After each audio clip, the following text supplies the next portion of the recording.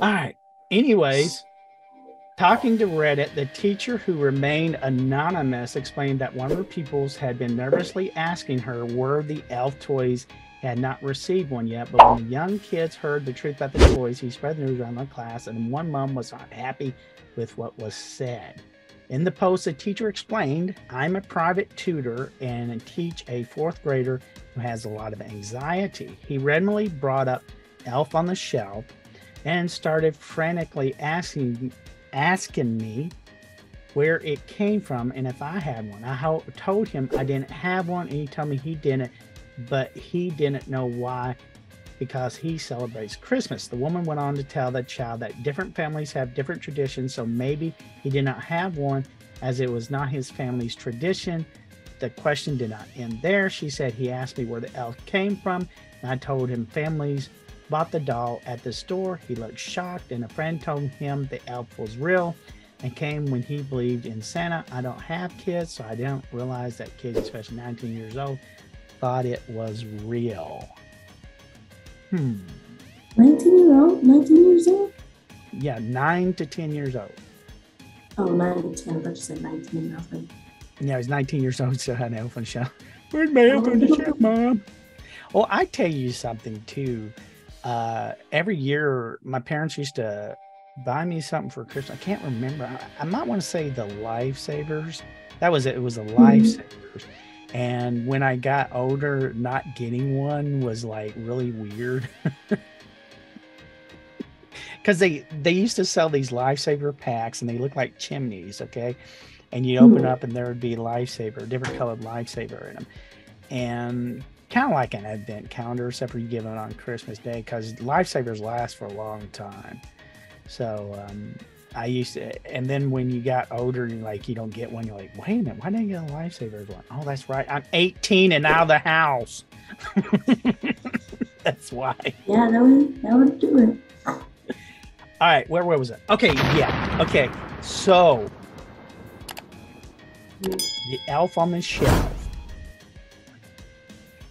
I don't think the teacher meant to spill the beans.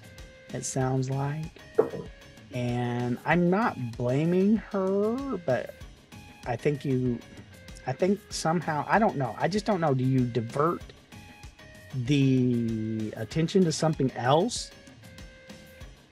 or how do you handle the situation? I mean, if the child doesn't stop asking, what are you supposed to do? So you would have spelt the beans. Yeah, because if it doesn't, if, it, if I check the typewriter three times and it still doesn't work, I'm telling them. You're telling if it was like three times. And I try to like tell you to go play three times, and you still like, oh, why don't you have Elf on the Shelf? Elf on the Shelf ain't real good. Get your life together. Come on. and that's between you and your mama, not me. She wants to save it, she can save it. If she doesn't, Probably, I guess. I guess I would say is like you need to go talk to your mom about that.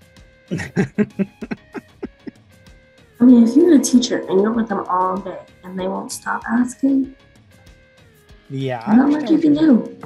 if they keep on begging you and begging you. Of course, this this sounds like a kid who was special needs, and the way they were describing him, right? Because he had this extreme anxiety. So I think he was like slow, and she's a private tutor, right? So that kid needed special attention.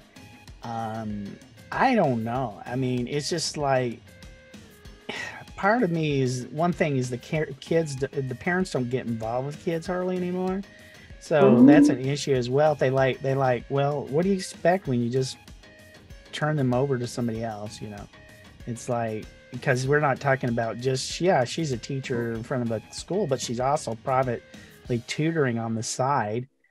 And the question goes to mind: Does this kid see this teacher more than they see their mother? Then technically, they really become a part of the family. You know what I'm saying?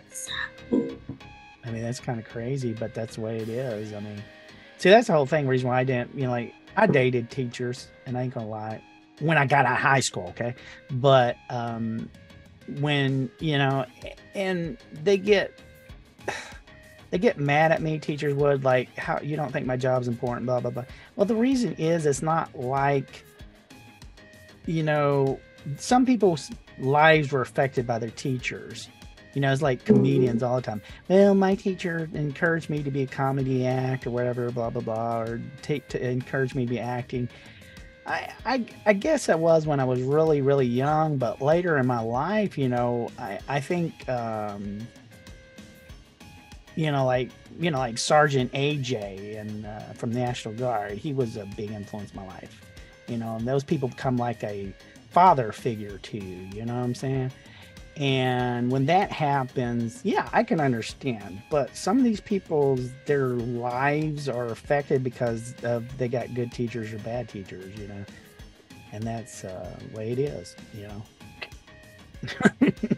I don't know how else to say it. It's like, uh, yeah, you you got a point there. And to me, like I said, it sounds to me like she really didn't want to be put in this position, but it kind of was she's kind of forced into it. It was like there really wasn't much she could do, you know. Sounds like. Yeah, so you would have spilled the beans. Spilled the wine. All right, let me ask you, Sarah, where do elves on the shelves come from? Um, the store. The store. Okay. hmm And your mom and daddy, they the ones that position them. They they they buy them. Did you ever have elf on the shelf in your family? Mm-mm. Either of us.